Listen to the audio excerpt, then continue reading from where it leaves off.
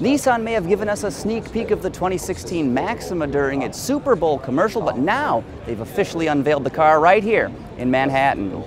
Aside from its stylish body, which is immediately obvious, this all-new large sedan is lower, longer, lighter, and structurally stiffer than its predecessor, losing about 82 pounds and gaining roughly 25% more torsional rigidity.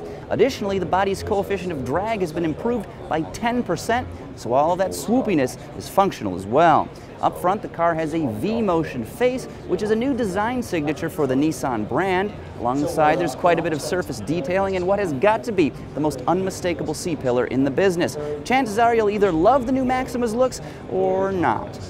Nissan is billing this machine as a four-door sports car. Now that may be a little bit of a stretch, but it should provide ample thrills with what it's got under the hood.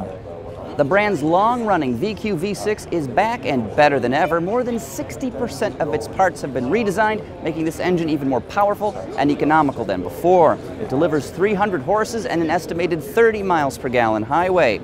An all-new Xtronic continuously variable transmission should help both acceleration and fuel economy, keeping drivers happy. It can even simulate gear changes under heavy throttle. It seems like every auto show video I host includes a paragraph about driver assistance features, and this one is no different. This shit's all the rage these days.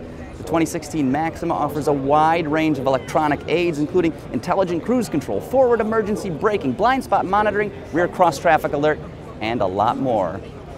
And unbelievably, Nissan has also shared both pricing and availability information. I mean, how often does that happen? Like, never. Now, the 2016 Maxima is slated to go on sale early this summer, and it should carry a base price of just about 33 grand, including destination charges.